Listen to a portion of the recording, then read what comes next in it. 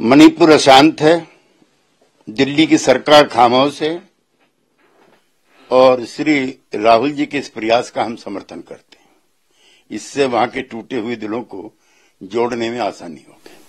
राहुल गांधी ने यह भी कहा मणिपुर से कि आज जो मणिपुर की स्थिति है उसके लिए बीजेपी और आरएसएस की जो पाठशाला है वो जिम्मेदार है। उनकी प्रयोगशाला की वजह से यहाँ पर नफरत फैला है और हिंसा हुई मैं राहुल जी से सहमत हूँ कि वहाँ विभिन्न वर्गों में, खासतौर से मैती और कुकी समाज के बीच में, जो वैमनस बढ़ा है, उसके लिए वहाँ की सरकार और भारतीय जनता पार्टी की नीतियाँ जिम्मेदार है।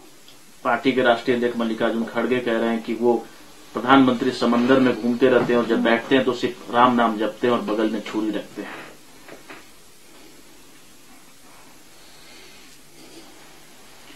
बीजेपी की तरफ़ से भी सर प्रतिक्रिया निकल कर आ रही यात्रा पर। कोई कह रहा है कि उन्नीस सौ चौरासी के दंगा के लिए न्याय यात्रा निकाल रहे हैं क्या?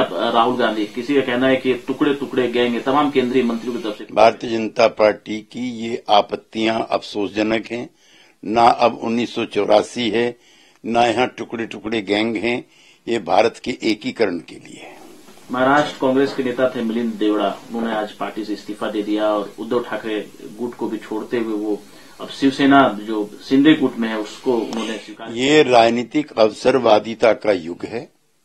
सत्ता के इर्द गिर्द जो चिपके रहने वाले लोग हैं वो ऐसे समय पर दल बदल करते रहते हैं जब चुनाव करीब हो। इसमें कोई आश्चर्य नहीं है। एक बड़ी बात यह है सर कि मालदीव के बीच भारत और मालदीव के बीच जो लगातार मामला बना हुआ है वहाँ के राष्ट्रपति कह रहे हैं कि पंद्रह मास से पहले भारत अपनी वहाँ से सेना हटा दे। कैसे देखते हैं आप इस तरह की जो घटनाक्रम मालदीप में हुआ है वो अफसोसजनक है।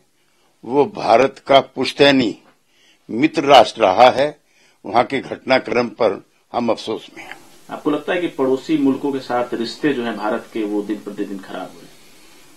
कोई समय था जब बांग्लादेश नेपाल कुछ हद तक पाकिस्तान श्रीलंका मालदीप के साथ हमारे बड़े सौहार्दपूर्ण रिश्ते थे।